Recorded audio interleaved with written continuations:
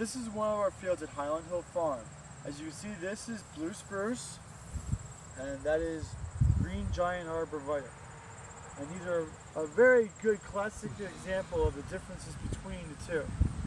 When these were planted, this was planted as a plug plus two. Now it's planted as a rooted cutting plus one. So this is actually one year older than the green giant is. So the blue spruce definitely grows slower. Growth increments are very slow. A determinate tree.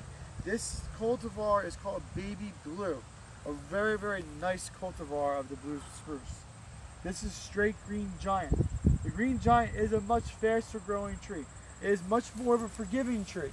It grows much faster and has a better market for the green giant arborvitae. It should be trimmed where I was actually out here pruning this tree and that's why I'm here and that's why my dad's filming us. And this blue spruce, this is a determinate tree. It can be pruned now, but we usually prune them over the winter time due to not enough time in the year to do everything when we want to do it. Now, for your habitat, Mike, which tree would be a better tree, and explain which tree will withstand deer damage the best.